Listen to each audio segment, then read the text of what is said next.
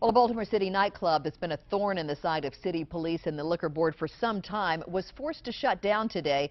But the owner, who is no stranger to the city club scene, gets to keep his liquor license. 11 News reporter George Lettau is live outside of Voltage nightclub in southeast Baltimore to explain. So, George, how does that happen? Yeah, Donna, here's the short answer. Last month, the city revoked the license, the liquor license. The club owner appealed that decision, and so the city was concerned that the appeal process would allow the club to operate for months and months. So today, a deal was struck to shut the club down, but not necessarily the club owner's liquor license.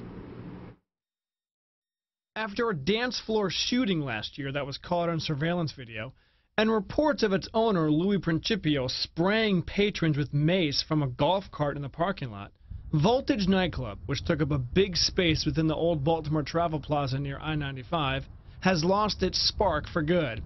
As part of an agreement today between the City Liquor Board and Principio, Voltage will shut down in exchange for allowing Principio to keep his liquor license, but only if he does not open another club in this location. I believe he will sell the license. That's certainly how it was framed to us in correspondence by his lawyers. Principio, who used to own longtime Baltimore hotspot Hammerjacks, could still open up a new place in southeast Baltimore if he changes his mind.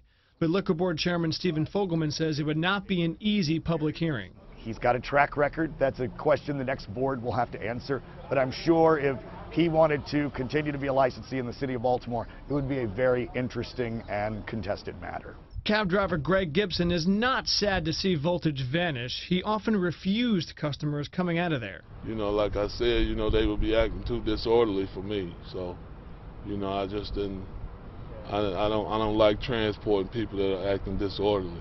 According to a note on the doors of Voltage, the club has, quote, decided to work with downtown nightclub Paparazzi to carry on the Voltage experience there by putting on weekly events, the first of which is April 17th. Not so, says Paparazzi owner Brian Winfield, who wants nothing to do with Voltage or Louis Principio. The amount of violations and things that he has going on with him, and right now we have a clean slate with the city and the liquor board. We're not trying to do anything to damage our name or reputation. No attempts to reach Mr. Principio and his lawyers for comment were unsuccessful tonight. Meanwhile, the note that was on the doors here a few hours ago has since been taken down. We're live in southeast Baltimore. George Lettau, WBAL, TV 11 News.